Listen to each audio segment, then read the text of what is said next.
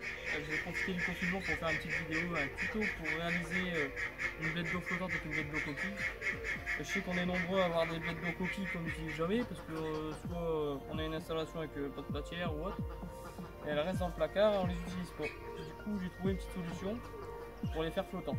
Il vous faut une blette d'eau coquille, du polystyrène, un tube en PVC, un petit linteau de bois, quatre petites vis, deux grandes vis, un piton à œillet et après il vous faut une scie, un cutter, un mètre et une visseuse. Vous prenez la blette de coquille et un morceau de polystyrène. Vous venez faire l'emprunt sur le polystyrène et vous découpez tout le tour de la blette.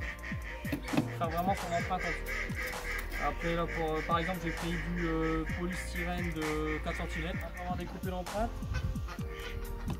on n'a pas besoin de laisser la queue, hein. j'ai euh, directement. On vient insérer le polystyrène dans la blette. Il tient, tient naturellement, doucement. Voilà. Après, on va utiliser le linteau.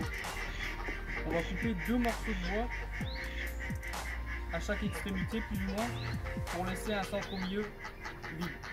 Donc on va couper deux morceaux, deux petits morceaux, et deux morceaux de bois que je vais venir installer sur le côté, comme ça, et que je viens visser avec des petites vis de chaque côté.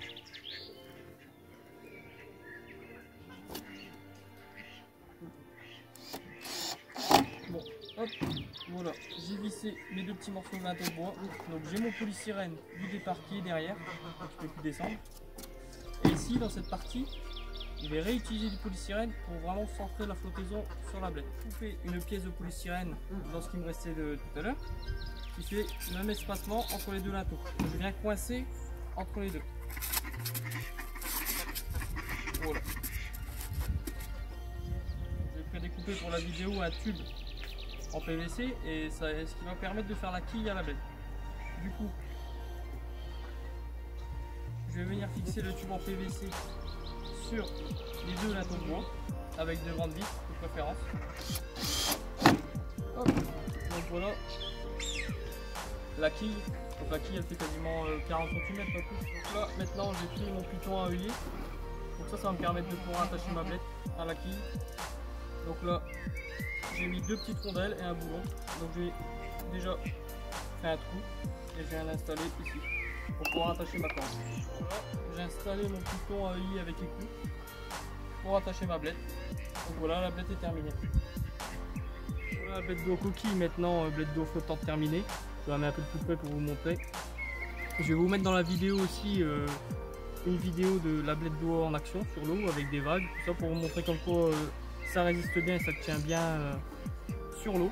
Voilà. Après si vous avez aimé la vidéo, vous pouvez mettre un petit j'aime et vous abonner ou soit me suivre sur Facebook avec la team Duckman. Merci bien, bonne journée, salut